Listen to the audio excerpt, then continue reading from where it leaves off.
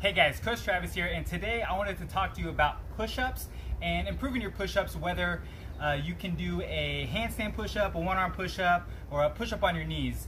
Uh, this drill that I'm about to show you is just all about creating tension and shifting our, our weight distribution around. So what am I talking about? I'm gonna get a little nerdy here for a second, just bear with me. So our push-up position, plank position, whatever you call this right here, we're very spread out. Two hands, two feet. There's a lot touching the ground over a very large distance. We'll call that our base of support.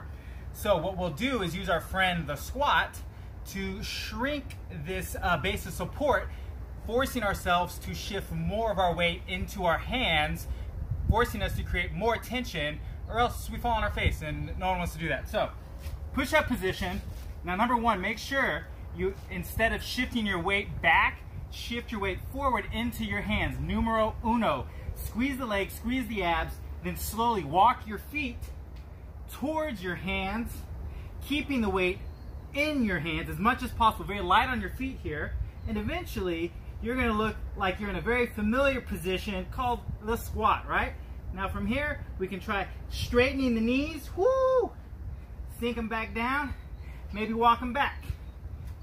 Find a position that can challenge you to force you to create more tension because you have all of that weight distributed into those hands, very small surface area, really big demand on those arms, but you don't really have to worry about range of motion or anything like that. So give that a shot, see how it feels, and uh, if you have any questions or comments, please leave them below. Hold on guys, I almost forgot. Bonus drill for those of you looking to enter the hand balancing world, where all your weight's in your hands and none of it's on your feet. Uh, this is a little fun way to get into that uh, crow, headstand, or tripod pod position. Start in your push-up position, nice and strong, shifting forward. Walk your feet in, and then if you can get your knees over your elbows, you can then use these legs to squeeze into the arms, maybe pick up a foot. If you can get one foot with control, maybe try the other foot. Boop.